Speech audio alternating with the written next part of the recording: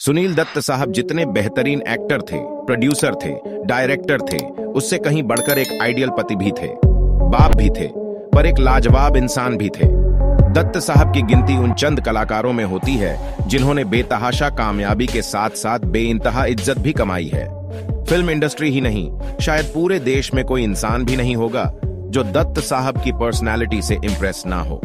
जहाँ सभी एक्टर ने अपने बुरे दौर में पॉलिटिक्स की तरफ़ रुख किया वहीं दत्त साहब राजनीति में इसलिए आए कि वे लोगों की देश समाज की सेवा कर सके।